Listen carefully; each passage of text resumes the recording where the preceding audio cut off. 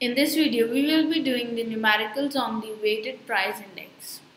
Now you can see you are given with the weights and the price of the base year and the price of the current year. So for the weighted index number, the formula was sigma RW divided by W which is weight. So your summation W we can find out by simply adding up your weight which is 100 R we can find out with the formula which is price relative P1 divided by P0 into 100. So R we can find out in this way 200 divided by 100 into 100 200 800 divided by 200 into 100 which is 400 16 divided by 2 into 100 is 800 8 uh, 40 divided by 8 into 100 is 500 then 6 divided by 1 into 100 is 600 so if we add all these now the next what we need is RW so R into W is RW that is your relative prices into the weights. So let's multiply this. We get 80 uh, 8000 12000 then 12000 then 500 into 10 is 5000 6000 into 5 is 3000 so let's add we'll get r w which is equal to 40000 right let's put up in the formula summation rw we got 40000 Summation W we have 100. So we get 400 as your our price index. So the price index in relation to the uh, for the current year with the base year as 2004 is 400. So this was your price price relative method in case of weighted index numbers. Now let's do the weighted aggregative method. Now this is the question which is given to you. You are given up with the commodities that is the items. Price of the base year 2004 is your base year P0. Quantity of the base year Q0. Price of the current year P1. Quantity of the current year is Q1. Now you are asked to find out the price index number. Now see, the price index number, you cannot use the simple aggregate method in this case. You cannot use the uh, simple price relative method in this case because you are given with the quantities as well. So whenever you are given with the quantities,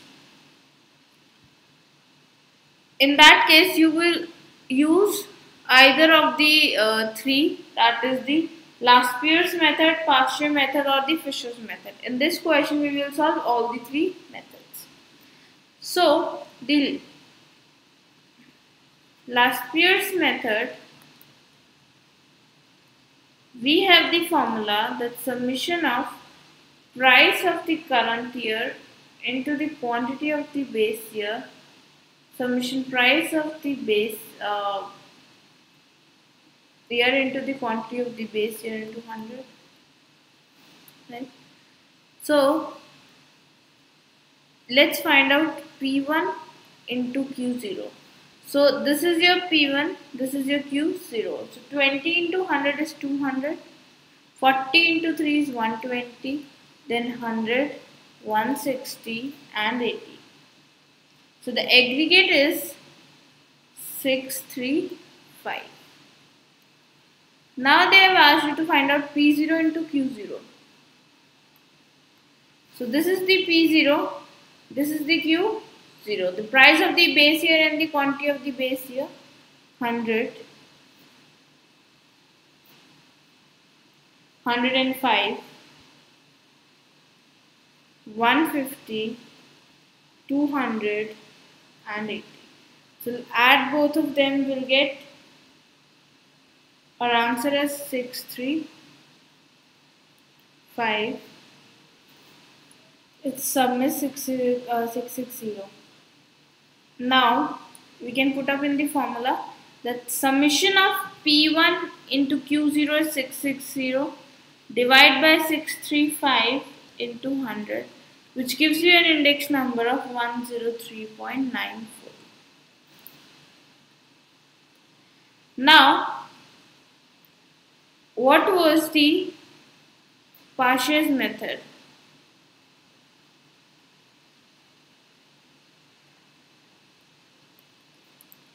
It was summation. P1 into quantity of the current year, P0 into the quantity of the current year into 100.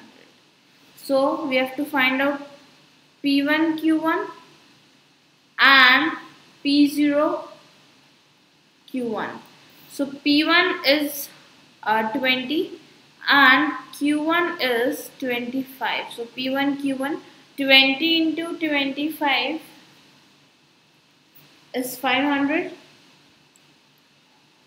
then 400 then 300 8 into 20 is 160 we are multiplying this with this p1 into q1 this is p1 this is q1 and 200. So we'll add them, we'll get 1560 as the answer. Then price of the base year which is this column and the quantity of the current year which is this column. So we'll multiply this, we'll get 250, 350, then 450, then 200 and then again 200. So add them we'll get an answer as 1450. So the Paasche's method now P1 into Q1 summation is 1560. P0 into Q0 summation is 1450 into 100. So we've got an answer as 107.59 and the last comes is your Fisher's method which is the most ideal method. So Fisher's method is under root. Both of the formulas will combine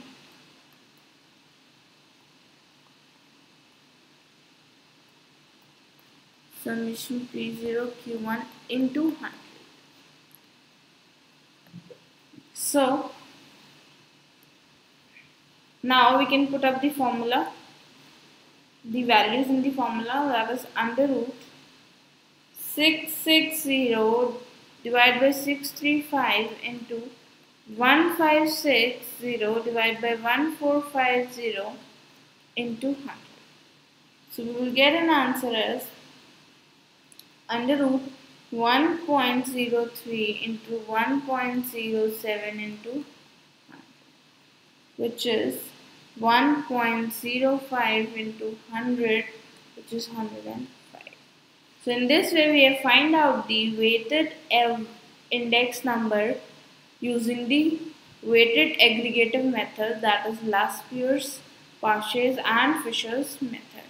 So these three methods are very important to remember because you will get definitely one question in the exam and these are the very important methods. So I hope you like our video. Please download our Scholars Learning app and enjoy the learning experience with us.